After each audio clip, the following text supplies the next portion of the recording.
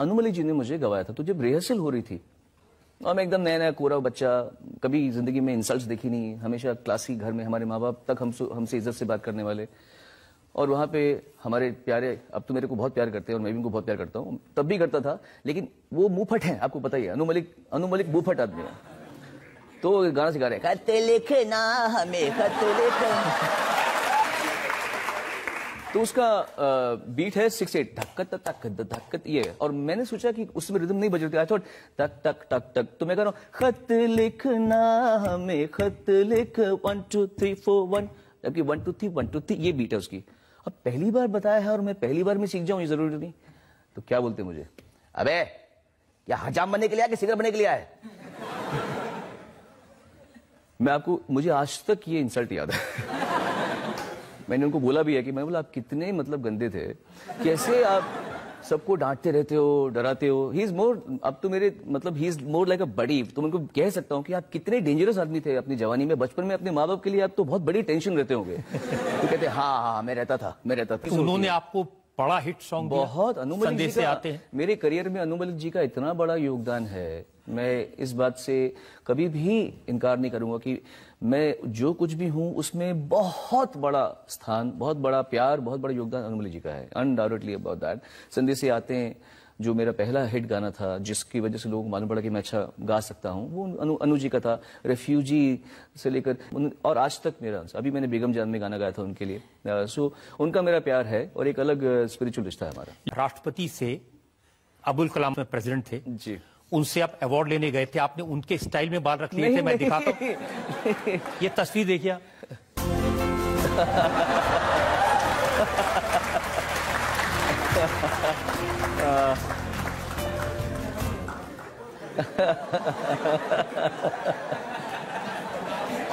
वाकई में ये प्लान नहीं किया था। ये गलती है फरा खान की। उस समय मैं इंडियन आइडल पार्ट टू करा पार्ट वन करा था। तो उसने मुझे बोला सोनो। तब उसका शिरीष कुंदेर से अफेयर चल रहा था तो कहती है सोनो, Shirish is also having the rebonded hair तो तू भी रिबॉन्डेड हेयर करा देना, तेरा भी बाल लंबा हो जाएगा, ऐसा करेगा तू। तो वो मुझे मेरे बाल कर्ली थे तो अगर आप देखें कि फ़र्स्ट ही सीज़न में मेरे पहला कुछ एपिसोड्स में बाल कर्ली थे बाद में स्ट्रेट हो गए। तो ये फराक खानी गलती है। और तब भी आलिम ने ही बाल मेरे स्ट्रेट किए थे। मैं उनका पहला ग्राहक था जिसने रिबॉन्डिंग स्ट्रेट की थी। और मुझे नहीं पता था कि मुझे नेशनल अवार्ड मिलने वाला है कल होना हो के लिए सर लेकिन राष्ट्रपति ने कुछ कहा आपको? मैंने उनको कहा जैसे वो आए तो उन्होंने मुझे देखा। तो मैंने कहा सर सेम हेयर स्टाइल मैंने कहा सेम हेयर स्टाइल तो उनका जवाब सुनिए।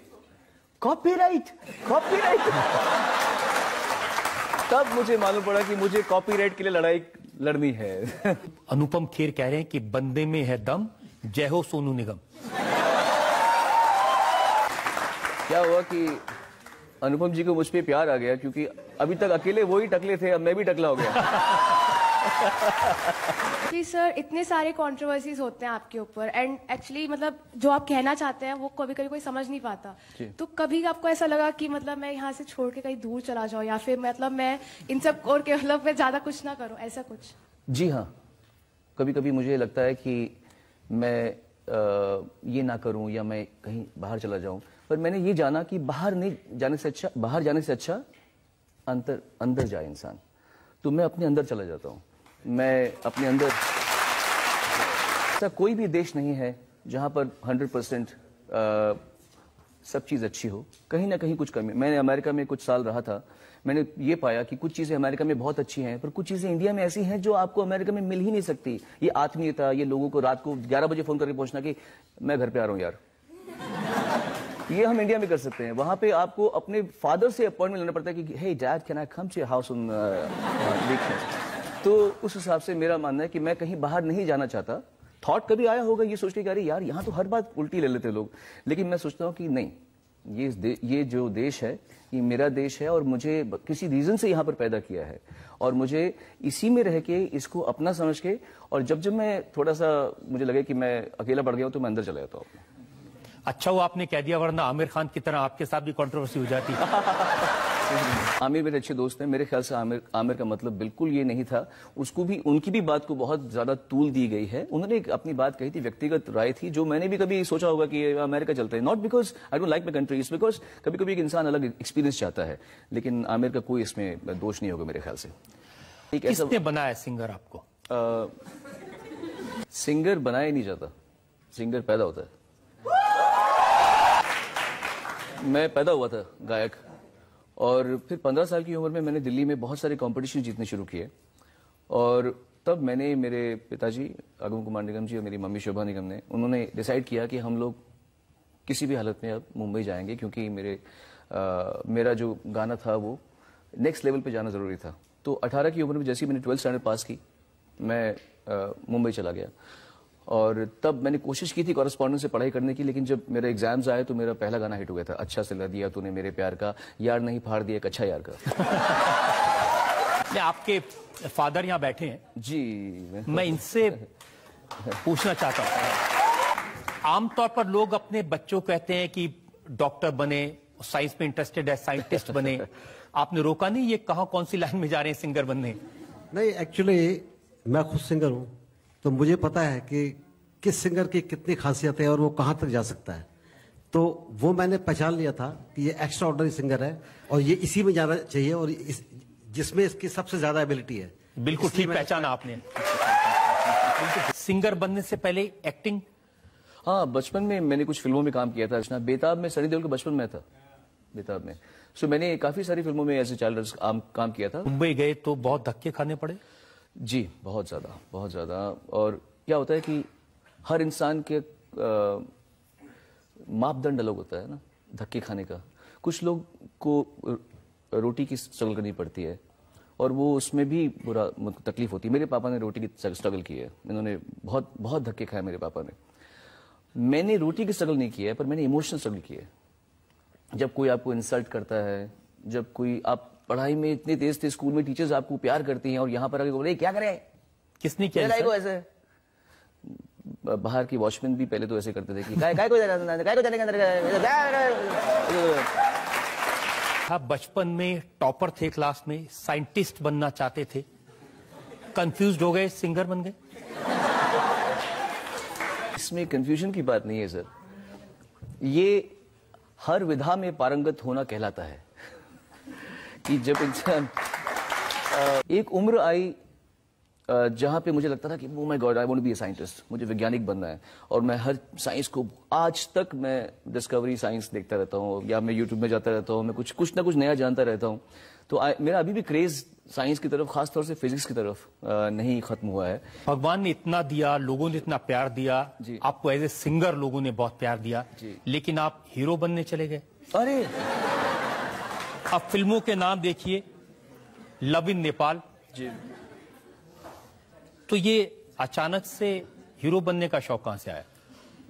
आ, हुआ ये कि आ, मैंने हीरो बनने से पहले वीडियोस किए थे बहुत सारे गानों के। और उसको देख के शायद डायरेक्टर्स प्रोड्यूसर्स को लगा हम इनको फ़िल्में दे सकते हैं। तो मैंने अपने लिए कभी फ़िल्में बनाई। मेरे पास ऑफर्स आए सामने से।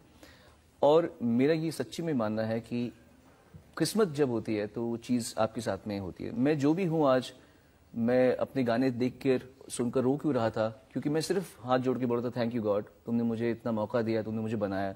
मैं ये नहीं सोचता कि, अरे, देखा सोनू निगम, तुमने क्या काम किया है? वैसे ही जब मेरा ये मानना है कि जो होना होता है, वो हो जाता है। किस्मत होती है, भगवान का आशीर्वाद होता है, लोगों का, लोगों की दुआएँ होती हैं। मेरी डेस्टिनी में उस समय आ, सही फ़िल्मों में काम करना नहीं लिखा था। मैं आपको एक बड़ा अच्छा एग्ज़ाम्पल देता हूँ ये लोग हंसेंगे बट आपको उसके पीछे लॉजिक बताता हूँ मैं। एक फ़िल्म आई थी जानी दुश्मन। अब आप देखिए उसके उसके पीछे लॉजिक देखिए मेरा। मुझे क्या पता फ़िल्म क्या बनने वाली है? मैं नया ना बच्चा। मेरे ऊपर किसी का आ, किसी, किसी की सरपरस्ती नहीं है एज एन एक्टर कि मुझे गाइड करे कि भाई ये करो ये मत करो या फ़िल्म बनाए मैंने क्या सोचा? सनी देओल, अक्षय कुमार, पागल तो नहीं हो गए। सुनील शेट्टी है उसमें, आफ्ताब भी है, अरशद वारसी है, मनीषा कोयराला है। इतने लोग और आदित्य पंचोली है, इतने ग्यारह के ग्यारह लोग पागल तो नहीं हो सकते। ये फ़िल्म कितनी खराब बन सकती है कि जो लोग सीज़न एक्टर्स हैं, जिनको हम रिस्पेक्ट करते हैं, अक्षय सनी देओल जी और सुनील शेट्टी अरशद भी इतना अच्छा काम कर रहे हैं। आफ्ताब है हम वो लोग कितना रॉन्ग डिसीज़न कैसे ले सकते हैं? सो बट मेरी किस्मत में ये था कि वो सबके सब रॉन्ग होने थे। वो आपकी किस्मत की वजह से सब फेल हो गए। मैं मुझे अंदर से आवाज़ नहीं आई कि तो मैं फ़िल्म में काम भी करूँगा। और मैं इसके बाद कभी फ़िल्म में काम किया काम किया भी नहीं। और मैं बहुत संतुष्ट हूँ सर। मुझे मतलब मेरी भूख नहीं है इतनी। ज़िंदगी से मेरी मुझे जितना मिल गया ना इसके बाद भी अगर मैं भुक्कड़ की तरह घूमूँगा ना तो मुझसे बड़ा एहसान फरामोश कोई नहीं होगा। तो आई एम रियली सेटिस्फाइड कैसे कैसे रूप बदलते आप?